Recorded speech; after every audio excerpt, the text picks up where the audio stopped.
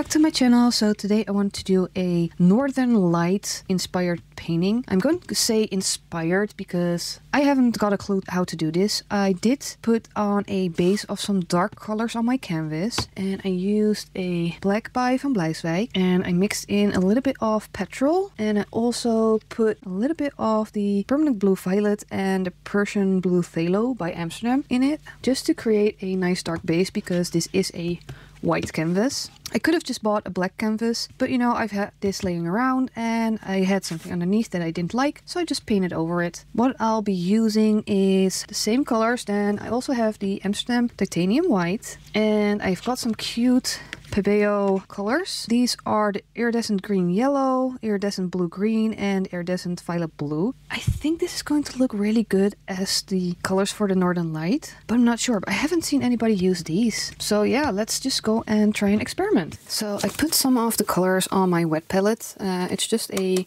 plastic container with a squishy uh, cleaning cloth with some water and some baking paper, non-grease baking paper on top. And I just squirted out some of the paint. And I have no plan whatsoever, but what I know is it's gonna be mostly green and I wanted to come from this area and going a little bit like here. Probably shouldn't put it too close together. We have to remember we're going to brush it upwards. Let's just start with that and see how it looks. I'm going to use a really big fluffy brush and I've got a piece of paper I can wipe it off and this is dry. And let's just brush it up.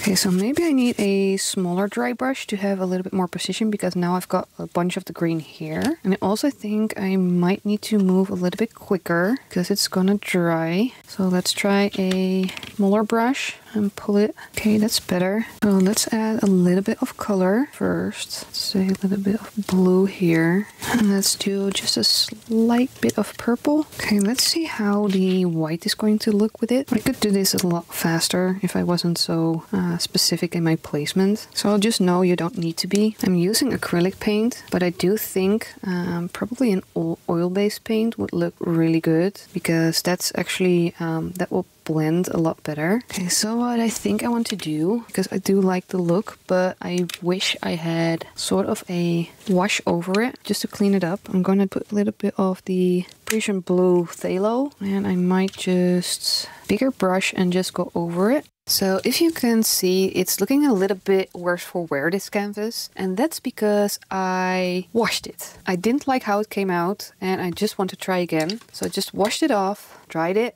and I want to try and create what I was looking for. And I'm just going to start by adding the green. And I think I want to spray it just a little bit. So I'm just going to spray the top.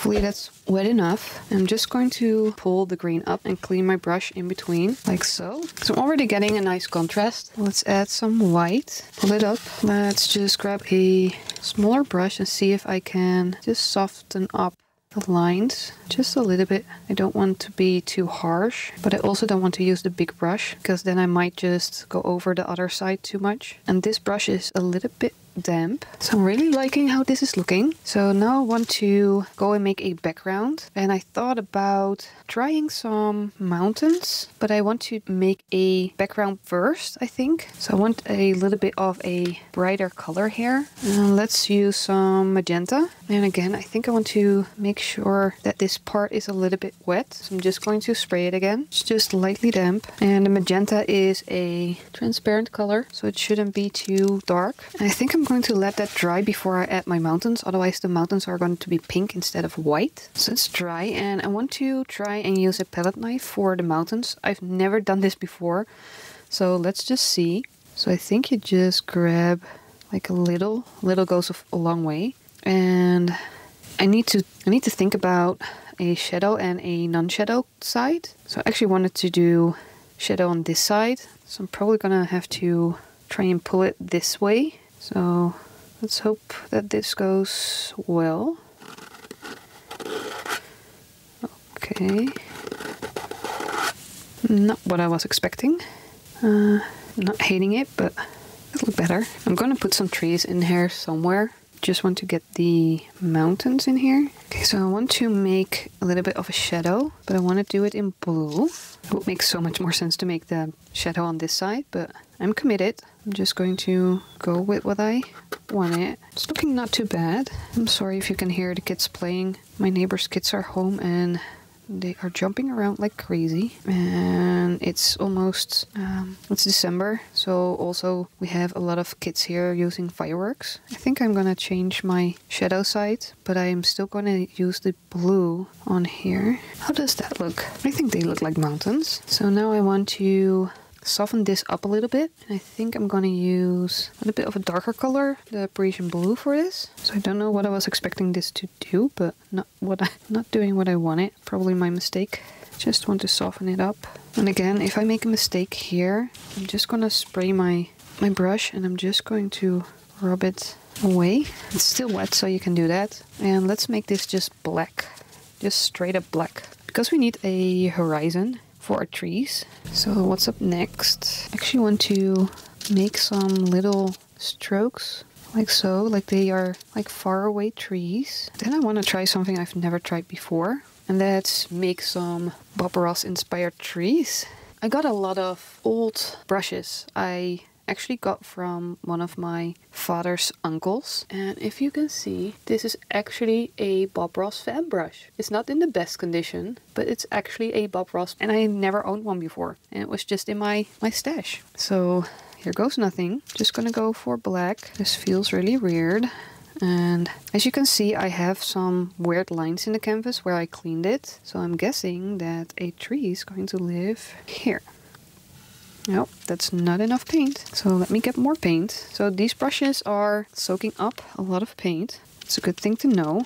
I don't want any blobs, but I do want some paint coming off. And I think he just goes dab, dab, in the best. Uh, is it the wrong way? Maybe more, maybe this way? Pull it up a little bit more. That looks like a tree, right? Just, just say yes. Yes, Randy, it looks like a tree. And let's do that on this side. Dab a little. Okay, let's do one more tree right here. We've got a tree. I think we're done. I might add a little bit of snow to the trees, but not when they're wet, because then it's just going to be gray. But there you go. It took me three times to get this right, but I'm really loving it. So here we have it, Northern Lights. Thank you for watching, and I hope to see you in the next one. Bye everyone!